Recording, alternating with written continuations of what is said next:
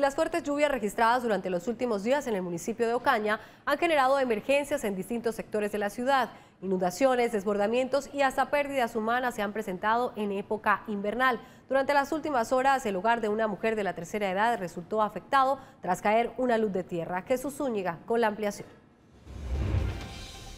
Gracias compañeros y televidentes, muy buenas tardes. Pues las fuertes lluvias que han caído en el municipio de Ocaña en los últimos días han provocado inundaciones y asimismo daños en algunas viviendas. Gestión del riesgo acompaña estas situaciones.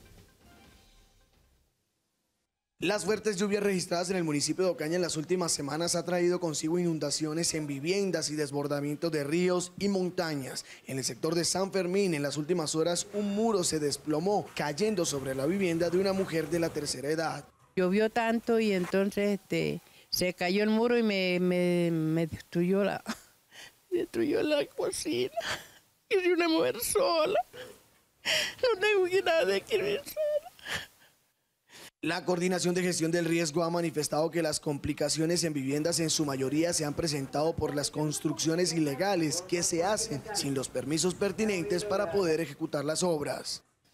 Pues las complicaciones en Ocaña que hemos tenido son, pues no son mayores, son situaciones que se deben dar por la misma naturaleza de los taludes, de los terrenos donde, donde estas comunidades han implantado sus viviendas pero sí estamos atentos a cualquier remoción en masa porque tenemos, sabemos que hay sitios que se están moviendo eh, muy lentamente, pero que con la época de lluvia la saturación del terreno genera que haya más peso y se pueden mover eh, más rápidamente generando eh, posibles situaciones de emergencia para el municipio.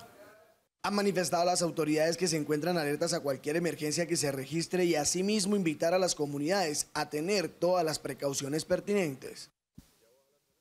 Nosotros continuaremos atentos a esta y toda la información que surja desde la región del Catatumbo y la provincia de Ocaña con la cámara de Orlando Franco. Jesús Zúñiga, muy buenas tardes.